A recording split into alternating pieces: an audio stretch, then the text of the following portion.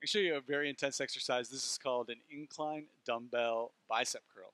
And you can see I've got my bench set up on an incline here. I'm going to lean back and let my elbows completely straighten out.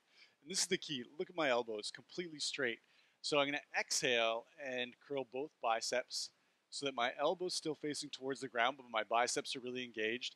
And then slowly, as I inhale, I'm going to let my arms completely straighten out, stretching out that bicep. Exhale, it's a curl. Breath in, slowly returning the weight back down. And then again, it's an exhale and a curl, slowly letting that weight down. The biggest mistake people make is something like this. They curl up and then bring the weights just part way back down before curling back up again. We really want to let that bicep extend all the way back down, so let that arm straighten out. That's your incline dumbbell bicep curl.